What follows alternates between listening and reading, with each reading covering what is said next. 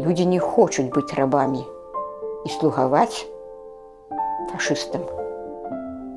І я таксама падтрымліваю гэты чын нашага народа. Адраджэнне, што я у 40 год пачала 80-х годах, зараз уже мне за 70 працягваецца.